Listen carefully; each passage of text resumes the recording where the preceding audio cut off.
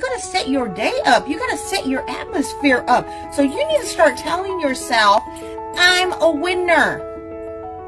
Okay? You've got to say it. I'm an overcomer. Right? You've got to tell yourself that. You got to say it and you want to be loud and proud. And believe it so that you can achieve the dream. Okay? And if you get knocked down, get back up and keep getting back up.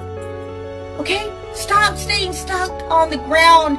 Get up, pick yourself up, dust yourself off, and keep moving forward. Tomorrow is not promised. And we are wasting time. You are wasting time. Don't you want to live the life that you deserve? You deserve it. Everything you've been through, everything you've gone through, every every trial you've went through, you deserve to live the best life. Just found out that my cousin passed away. And it hit hard because I love that girl. Oh my gosh, I loved her so much. She would light up a room. When she would come into a room, she like she didn't you didn't want to leave the room when she was there. I didn't see her a lot growing up, but when she did walk into a room, I remember her presence.